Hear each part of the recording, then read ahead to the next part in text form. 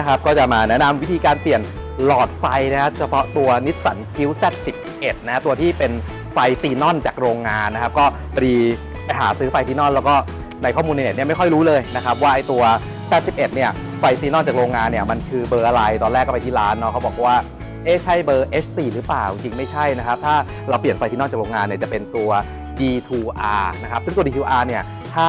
ปกติเนี่ยมันจะหาซื้อยากนะอ่าแล้วก็ถ้าเราไปเปลี่ยนที่ศูนย์เนี่ยก็จะประมาณ 5,000 บาท หรือว่าถ้าเราไปให้ร้านไฟทีนอนเปลี่ยนเนี่ยก็ประมาณบางทีก็2,000กว่าบาทนะครับอันนี้ก็คือซื้อมาเองนะเดี๋ยวก็จะแสดงวิธีเปลี่ยนให้ดูครับว่าเปลี่ยนง่ายๆมากๆครับมาเลย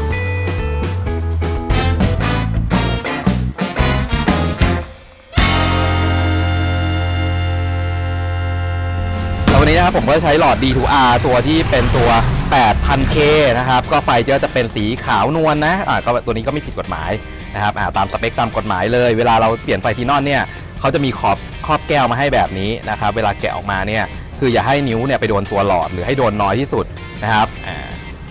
นี่สำหรับคมนิสสันคิ้วเนี่ยมันจะอยู่ด้านในนะครับฝาเปิดเนี่ยซึ่งถ้าด้านด้านขวาเนี่ยก็จะไม่ยากนะ แต่ด้านซ้ายเนี่ยมันจะเปิดยากเพราะมันจะมีเนี่ยมัดสายไฟอยู่อย่างนี้นะครับก็เอามือล้วงเข้าไปนะครับจะมีฝากลมๆใหญ่ๆอยู่นะบิด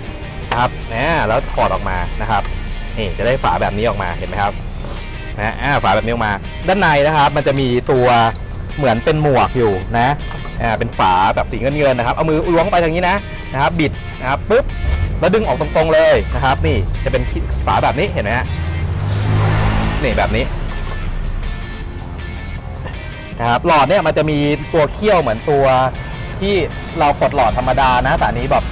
คงลวงเข้าไปให้เห็นไม่ได้นะฮะก็เอามือบีบครับปึ๊บแล้วก็ดึงออกมาตรงๆครับนี่เราจะได้หลอดเดิมออกมาแบบนี้เห็นไหมฮะนะนี่คือหลอดที่เสียละมันไหม้มันก็จะใช้การไม่ได้นะครับ เราก็เปลี่ยนหลอดใหม่เข้าไปแทนครับนี่นะเวลาจับเราก็อย่าให้โดนตัวหลอดนะยกขึ้นอะแล้วก็ใส่เข้าไปที่เดิมครับ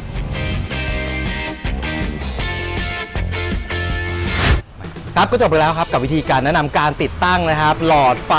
ซีนอนนะฮะสำหรับรถ Nissan Cube นะครับ ตัว D2R นะครับแต่เพื่อนๆที่อยากจะได้หลอดไฟแบบนี้นะไม่ต้องเข้าศูนย์ให้เสียตังค์แพงๆนะครับ ก็ Lazada มีขายครับ ไปสั่งได้นะเดี๋ยวใส่ลิงก์ไว้ข้างล่างนะครับ วันนี้ขอบคุณครับที่ติดตามชมผม The Baby Boomรุ่นสุดวันซีนครับ ถ่ายชิมอิ่มดำกับคลิปสั้นๆ พิเศษแบบนี้นะและคลิปเต็มๆกับการรีวิวสินค้าเนี่ยทุกวันศุกร์เวลา2ทุ่มตรงครับวันนี้ขอตัวก่อนครับบ๊ายบาย